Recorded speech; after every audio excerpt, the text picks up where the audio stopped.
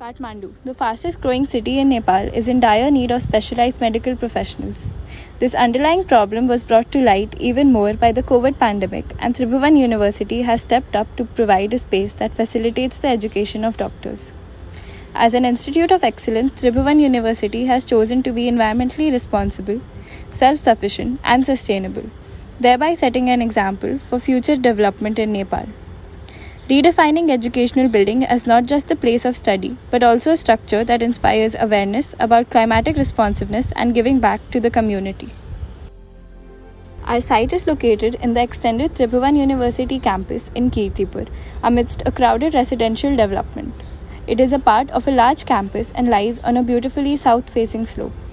It is at the heart of Kathmandu and is connected to the already existing other educational campuses.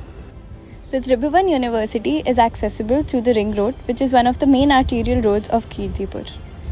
The site is master planned in a way that the academic site is well connected to the trauma center, hospital block, residential units, and space for future expansion. We analyzed the site based on parameters such as land use, relief, drainage, and access. We developed the form to minimize cut and fill and add an atrium, our passive strategy, and terrace gardens. This building is to be constructed for 300 doctors specializing in multiple disciplinaries. The learning process of these students extends from the lecture theatres to a more hands on experience at the hospital. To facilitate this exchange, a direct connection through a bridge is established. The goal of our design was to go beyond aesthetics and functionality and assist the building in its path to net zero. The academic block is envisioned to provide a comfortable environment to all of its users while making the least impact on the environment.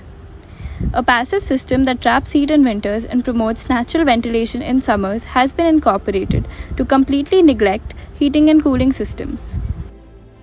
Having self sufficiency in terms of energy, utilizing a 320 kilowatt solar plant on the roof, and implementing a net positive water cycle.